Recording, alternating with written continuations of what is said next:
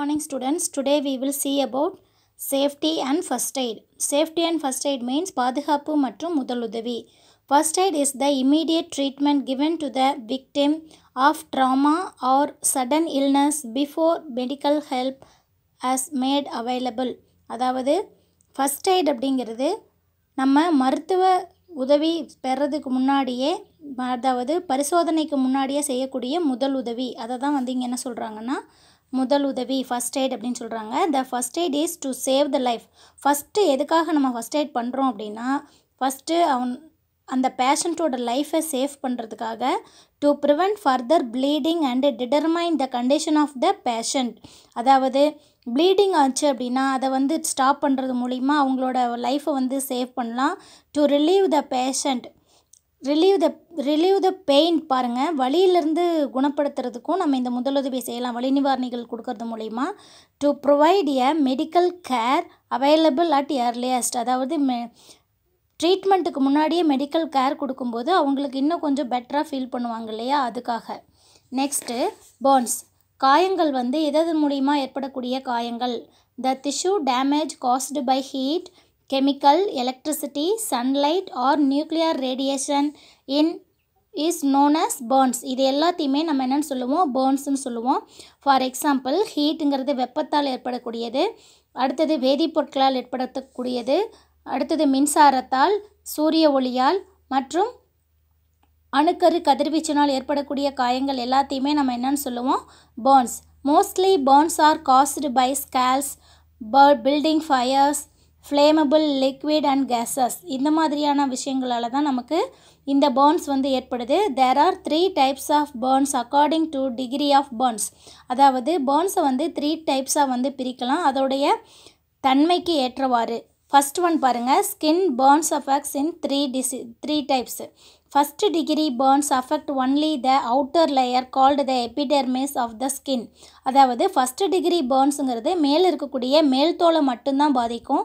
அந்த மாதிரி இருக்கிறத நம்ம என்னென்னு சொல்லுவோம்? First degree burns next second degree burns damage the epidermis and the layer beneath it called at the dermis called the dermis அதாவது எபிடெர்மிஸ்க்கு அடியில் இருக்கக்கூடிய லேயரையும் சேர்த்து பாதி பாதிக்கக்கூடியது second degree burns next third degree burns involve damage or complete destruction of the skin to its full depth and damage to underlying tissues also அதாவது third degree பேர்னுங்கிறது உள்ள தோல் முழுவதுமாக சத வரைக்கும் வெந்து டேமேஜ் ஆகிறதுக்கு பேர் தான் third degree burns people who experience such burns of and require skin grafting அதாவது இந்த மாதிரி புட்களா புண்களால் பாதிக்கப்பட்டவங்க ஸ்கின் கிராஃப்டிங் செய்கிறதுக்கு ரெக்கமெண்ட் ரெக்கையர் பண்ணப்படுறாங்க.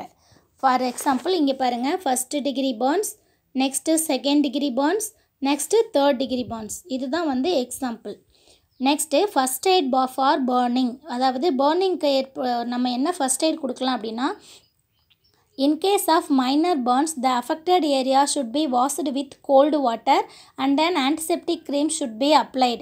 அதாவது ஃபஸ்ட்டு டைப் பேர்னிங்காக இருந்துச்சு அப்படின்னா என்ன பண்ணணும் அப்படின்னா கோல்டு வாட்டரில் வாஷ் பண்ணிவிட்டு ஆன்டிசெப்டிக் க்ரீமை வந்து அப்ஸ்லை அப்ளை பண்ணணும் in case of severe burns where deeper layers of tissues get destroyed and blisters appear use of water should be avoided blisters வந்துச்சு அப்படின்னாலே கண்டிப்பாக வாட்டரை யூஸ் பண்ணக்கூடாது. அதாவது கொப்பளம் ஏற்பட்டுருச்சு அப்படின்னா வாட்டரை யூஸ் பண்ணவே கூடாது.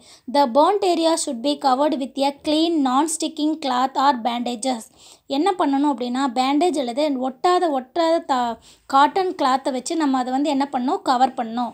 Larger burns need immediate medical attention இல்லை பெரிய புண்களாக இருந்துச்சு அப்படின்னா நம்ம எந்த முதலுதவியும் செய்ய முடியாது.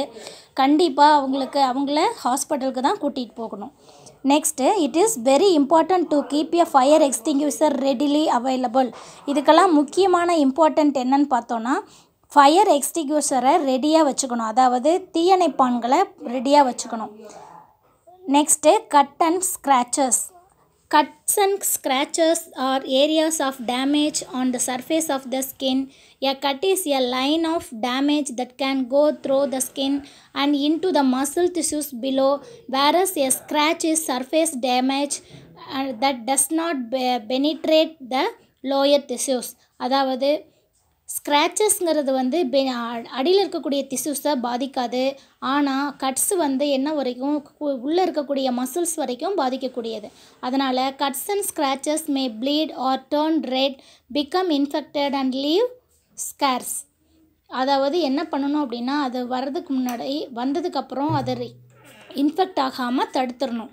Next first aid for cuts எப்படி வந்து கட்ஸுக்கு வந்து ஃபஸ்ட் எய்ட் கொடுக்கலாம் அப்படின்னா ஃபார் மைனர் கட்ஸ் சின்ன வெட்டுக்காயங்களாக இருந்துச்சுன்னா the affected area should be washed with cold running water and clean with an antiseptic liquid then apply an antiseptic cream on the wound and sterilised bandage should be tied to prevent infection அதாவது என்ன பண்ணோம்? சாதாரண சின்ன கட்ஸாக இருந்துச்சு அப்படின்னா அதை gold வாட்டரில் wash பண்ணிவிட்டு ஆன்டிசெப்டிக் லிக்விடை வந்து அதில் விடணும்.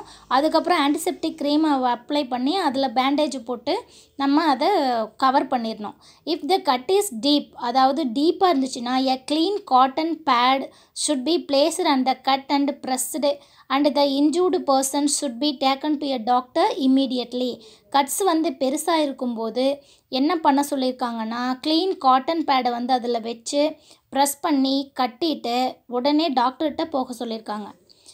Next basic cleanliness and protection the most important thing is to help anybody but you must also protect yourself from HIV and other blood borne when you help someone who is bleeding you should wear gloves or a clean plastic bag on your hands அதாவது இந்த மாதிரி HIV affect ஆன patients மற்ற blood borne disease இருக்கக்கூடிய patients எல்லாம் நம்ம treat பண்ணும்போது first aid பண்ணும்போது எப்போவுமே நம்ம என்ன பண்ணணும் அப்படின்னா க்ளவுஸை போட்டுக்கிட்டு தான் நம்ம நம்ம அவங்களுக்கு ஃபஸ்ட் எய்ட் பண்ணோம். அப்படி இல்லைன்னா நம்ம கையில் ஏதாவது சின்ன கிராச் ஸ்க்ராச்சஸ் இருந்ததுன்னா அந்த பிளட் போன் டிசீஸ் அதாவது ரத்தத்தின் மூலிமா பரவக்கூடிய நோய்கள் வந்து நமக்கும் பரவிடும் be careful not to prick yourself with needles or other sharp objects around the person you are helping அதாவது என்ன பண்ணணும் அப்படின்னா நீங்கள் அந்த பர்சன்ஸ் யூஸ் பண்ணக்கூடிய ஷார்ப் ஆப்ஜெக்ட்ஸ் எல்லாம் நீங்களே எடுத்து யூஸ் பண்ணுறது நீங்களே எடுத்து பண்ணக்கூடாது. Next today you should read ல answer to answer in detail. List the situations in which fir- first aid is given. What would you do in a per- person suffers from skin burns? அதாவது skin பர்ன்ஸ்னால் suffer ஆயிட்டாங்கன்னா என்ன பண்ணுவீங்க? அப்படின்னு கேட்குறாங்க first நீங்கள் இது இன்றைக்கி படிக்க வேண்டியது எதுன்னு பார்த்தீங்கன்னா சேஃப்டி அண்ட் ஃபஸ்ட் எய்ட் இதுலேருந்து இது வரைக்கும் should read and write and send me thank you